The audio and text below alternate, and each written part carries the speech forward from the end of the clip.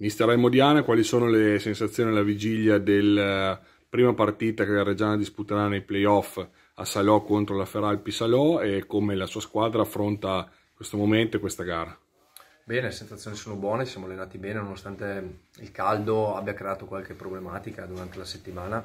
Ci siamo però abituati, abbiamo lavorato bene, senza grandissimi intoppi speriamo di aver fatto le, le, le, cose giuste. Mi piacerebbe ritrovare la squadra che ho lasciato, non sarà, non sarà magari così, però ehm, punto anche sulla, sulla, mentalità dei ragazzi, sulla voglia di, di, di, insomma, di dimostrare loro, una volta di più la loro forza.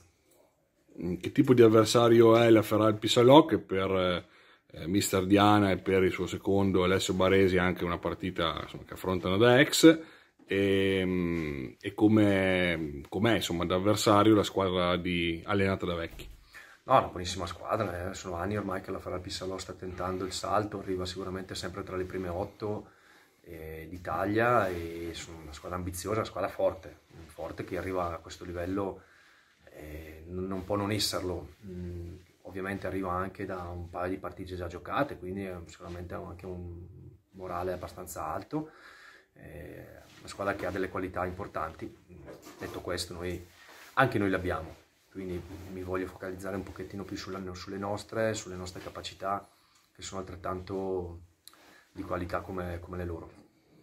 Com'è stato questo periodo lungo di attesa, diciamo, in attesa di questa partita, in particolare che eh, sensazione ha lasciato il saluto dei tifosi avvenuto sabato al centro sportivo di Cavazzoli? Eh, è stato lungo, molto lungo, mm, non voglio dire logorante, no, perché l'abbiamo vissuto comunque con una buona serenità, con i tempi giusti. È chiaro che un mese senza partite ufficiali, eh, secondo me, pone nella squadra che arriva meglio in classifica qualche difficoltà, mm, soprattutto di, di, di impatto della partita eh, sarà un po' da osservazione, sarà un po' da vedere, sarà, mi sarà bravi anche noi a saper gestire la partita, se c'è da fare dei cambi, insomma eh, mi auguro insomma, di ritrovare un pochettino la squadra che abbiamo lasciato o comunque intravedere quello spirito che tra la partita di andata e la partita di ritorno dovremmo cercare di fare nostro.